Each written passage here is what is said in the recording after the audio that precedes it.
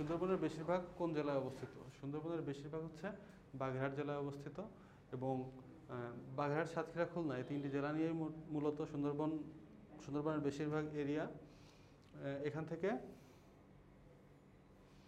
আরও কিছু জানতে হবে যে সুন্দরবনের বাংলাদেশের মধ্যে রয়েছে ছয় হাজার সতেরো বর্গ কিলোমিটার, যা মোট আয়তনের মানে সুন্দরবনের টোটাল আয়তন হচ্ছে দশ হাজার বর্গ কিলোমিটার, যা মোট আয়তনের প্রায় বাষট্টি পার্সেন্ট এবং ছয় ডিসেম্বর উনিশশো সাতানব্বই সালে ইউনেস্কো সুন্দরবনকে বিশ্ব ঐতিহ্যর মানে বিশ্ব ঐতিহ্য, বিশ্ব ঐতিহ্যবাহী স্থান হিসেবে স্বীকৃতি দেয়। কার্স প্রণালী বিভক্ত করেছে ক্রিমিয়া এবং ইউক্রেনকে। এখন যেহেতু ইউক্রেন একটা বার্নিং বিষয়, তো এটা আসলে ইম্পর্টেন্ট কার্স আপনি একটু ম্যাপে দেখবেন। প্রণালীর ব্যাপারগুলো ম্যাপে না দেখলে আসলে ক্লিয়ার হওয়া যায় না।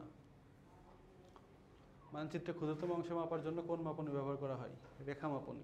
এটা মানচিত্র পাঠের একটা কোশ্চেন মানচিত্র তিনটা ভাগে মাপা হয়, রেখা এবং এই রেখার আবার তিনটা সাবগ্রুপ আছে। One is to ten one is to hundred one is to ten thousand তো সেখান থেকে এসেছে রেখা মাপনী। নদীর দুদিকে নিম্নভূমি পলি জম নিম্নভূমিতে পলি জমতে জম- জমতে জমতে বিস্তৃত যে সমভূমি সৃষ্টি হয়, তাকে কী বলে? প্লাবন সমভূমি। দেখেন নদী যাচ্ছে এবং দুই পাশে আস্তে আস্তে কি? পলি জমতেছে। পলি জমে যে সমভূমিটা সৃষ্টি হয় সেটা হচ্ছে যে প্লাবন সমভূমি। ওকে এরপরে আমি আর- আরও কয়েকটা বর্ণনা দিই। পলল সমভূমি। এই পলল সমভূমির সংজ্ঞাটা দেখেন, পাহাড়িয়া নদীর পাদদেশ থেকে পলি সঞ্চয় করে, যেই বিশাল সমভূমি তৈরি করে তাকে পলল সমভূমি বলে। যেমন পাহাড়, এখান থেকে নদী আসছে।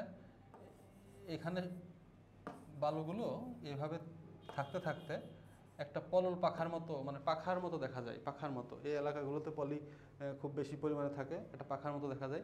সেটাই হচ্ছে পলল সমভূমি। আর একটা হচ্ছে বদ্বীপ সমভূমি, সেটা হলো যেটা ডেল্টার মতো বা বয়ের মতো দেখা যায়, বাংলা বয়ের মতো। সেটা হচ্ছে বদ্বীপ সমভূমি। আর মালভূমি হচ্ছে পর্বত থেকে উঁচু, পর্বত থেকে নিচু, কিন্তু সমভূমি থেকে উঁচু। লাইক এটা যদি সমুদ্রতল হয়, এটা যদি পর্বত হয়, তাহলে মালভূমি হচ্ছে এই এই- রিজনটা কানাডাতে প্রচুর পরিমাণে ধানের মালভূমি দেখা যায়। ওকে, তাহলে প্লাবন সমভূমি। আর যদি বলতো যে পাহাড়ের মধ্যকার নদীর থেকে যে সমভূমিটা সেটা কি? সেটা হচ্ছে পলল। বাংলাদেশের কোন বিষয়টি জাতিসংঘের এজেন্ডা একুশ কর্মসূচির আওতাভুক্ত? প্রথম ধরিত্রী সম্মেলন উনিশশো বিরানব্বই সালে, সেখানে কিন্তু তিন চারটা জিনিসের সিগনেচার করা হয় বা তিন চারটা বিষয়ে একমত হওয়া হয়। সেটা হচ্ছে, তার মধ্যে একটা হচ্ছে এজেন্ডা একুশ, তারপর ইউএনএফসিসি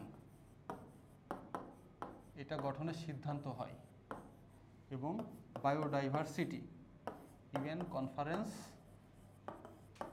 on biodiversity okay পুরোটা লিখলাম না। এই তিনটা সিদ্ধান্ত নেওয়া হয় প্রথম ধরিত্রী সম্মেলন উনিশশো বিরানব্বই সালে রিও ডি জেনেরোতে। তো সেইখানে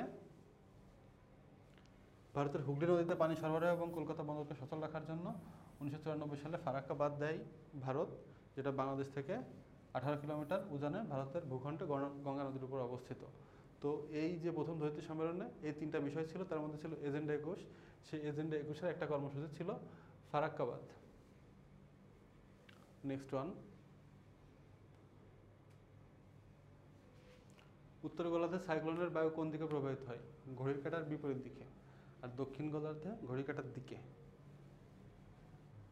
বাংলাদেশের রাডার স্টেশন কয়টি? পাঁচটি। মনে রাখবেন এটা। ওকে? বাংলাদেশ বর্তমান সিভিএফ এর সভাপতি এবং দুই হাজার বিশ থেকে দুই হাজার বাইশ এই সাল পর্যন্ত বাংলাদেশ সিভিএফ এর সভাপতি থাকবে। বাংলাদেশ সভাপতি হওয়ার আগে মার্শাল আইল্যান্ড ছিল সিভিএফ এর সভাপতি। বেড়িবাঁধ নির্মাণ দুর্যোগ ব্যবস্থাপনার কোন চক্রের কার্যক্রম? বেড়িবাঁধ নির্মাণ, এটা দিয়ে আমরা কি করি? এটা কিন্তু সারাদান না যে ইমিডিয়েট পরপরই করি। এটা হচ্ছে একটা প্রশমন এবং প্রতিরোধের মতো একটা ব্যবস্থা। তো এটা হচ্ছে এই প্রতিরোধ এবং প্রশমন এই প্রকল্পের, এই এই আওতায় পড়ে। তো এখানে দেখেন তিনটি উপাদান দুর্যোগ প্রতিরোধ, প্রশমন এবং পূর্ব প্রস্তুতি, প্রতিরোধ দুই রকমের, অবকাঠামোগত এবং অকাঠামোগত বেডিবাদ নির্মাণ তাদের মধ্যে একটা। লাইন অফ অ্যাকচুয়াল কন্ট্রোল নিচের কোন জায়গায় আছে? কাশ্মীরে। ভারত পাকিস্তানের সব সীমান্ত লাইন অফ কন্ট্রোল কিন্তু লাইন অফ অ্যাকচুয়াল কন্ট্রোল হচ্ছে কাশ্মীরে।